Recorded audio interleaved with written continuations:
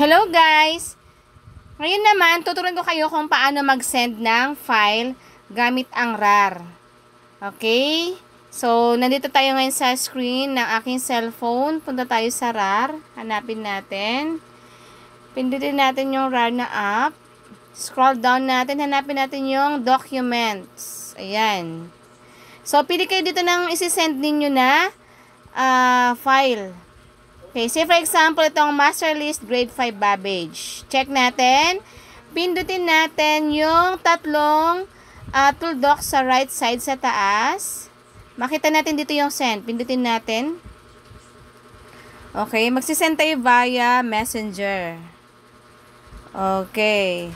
So, type natin dito, master list, yung pangalan ng sinend natin. Okay, so, And then, si-search natin dito yung pangalan nung pagsisendan natin. Okay? Ayan. So, ito, si Sean Bulokan yung aking sisendan ng master list. So, pindutin natin yung send.